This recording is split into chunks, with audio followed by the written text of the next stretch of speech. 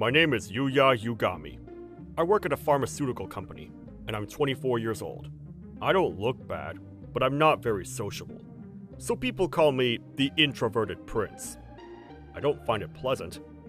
I don't think I'm an introvert. I'm normal. As I was preparing for my work, the person who sits next to me at the office approached me. I made it just in time.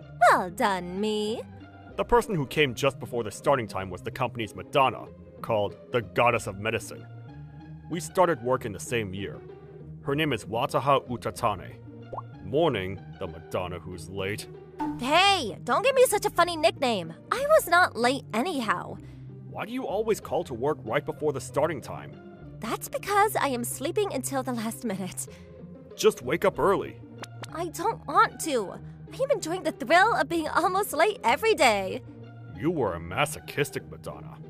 Say no more funny nicknames. I am not a masochist. I'm rather. I am a sadist. I could show you the proof. Poke, poke. Mm, don't poke my face. You're annoying me. You should be happy to be poked in the face by a Madonna, so. It doesn't matter who it is. What's annoying is annoying. You are honest.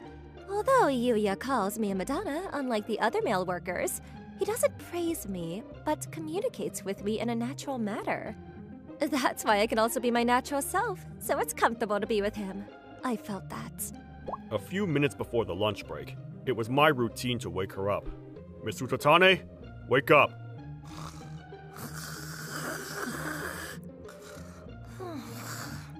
If you don't wake up, I'll leave you in the office while I go make my rounds to our clients. Don't leave me. Morning.